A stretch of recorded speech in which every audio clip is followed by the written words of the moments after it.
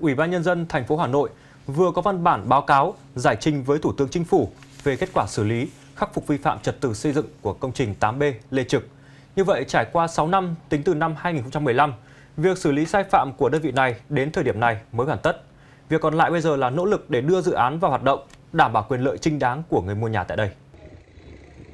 Đây là hiện trạng tầng 18 của tòa nhà 8B Lê Trực sau khi được thực hiện phá rỡ giai đoạn 2.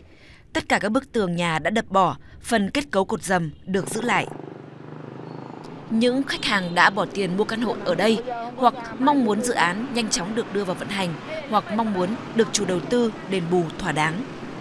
Và chúng tôi rất mong muốn là chủ đầu tư sớm có một cái thông tin uh, sớm để báo cho người dân biết là xem tình khả giải quyết tòa nhà đi trực đến đâu rồi. Bây giờ chúng tôi mất nhà rồi, chúng tôi chả biết làm thế nào cả, chỉ mong mỏi chủ đầu tư Ờ, sẽ có ờ, phương án để ờ, cấp nhà cho chúng tôi theo như là chúng tôi đã mua ở đây. Theo Ủy ban Nhân dân quận Ba Đình, việc bàn giao dự án, hoàn thiện công trình đưa vào sử dụng sớm hay muộn phụ thuộc vào chủ đầu tư có thực hiện đúng cam kết hay không. Trước đó, tại cuộc họp giữa quận cùng các sở ngành liên quan với chủ đầu tư đã đưa ra yêu cầu đơn vị này phải thực hiện đầy đủ nghĩa vụ về tài chính, đảm bảo quyền lợi của người mua nhà. Ủy ban nhân dân quận Ba Đình cũng khẳng định chất lượng công trình được đảm bảo tuyệt đối sau khi phá rỡ. Trước khi làm chúng tôi đều có thuê các đơn vị tư vấn, ví dụ như là tư vấn giám sát, tư vấn quan trắc mà đến nay thì à, tư vấn à, quan trắc vẫn đang thực hiện ở dưới đó trong thời gian à, trong thời gian này và cái quan trắc thì vẫn báo cáo thường xuyên là chưa có vấn đề gì xảy ra.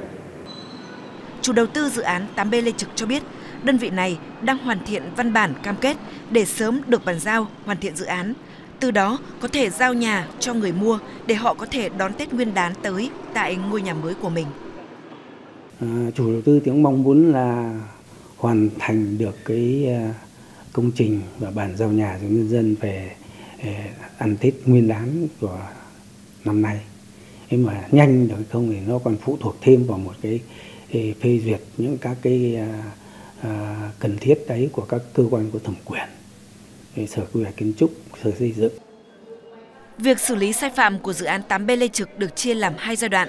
Giai đoạn 1 từ tháng 11 năm 2015 và hoàn thành sau khoảng một năm với việc phá rỡ phần tung thang và tầng 19.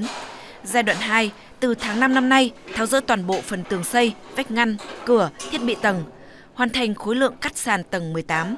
Hà Nội cho phép giữ lại kết cấu cột dầm, kết cấu lõi thang và dầm treo tầng 18 với lý do để đảm bảo kết cấu và an toàn cho tòa nhà.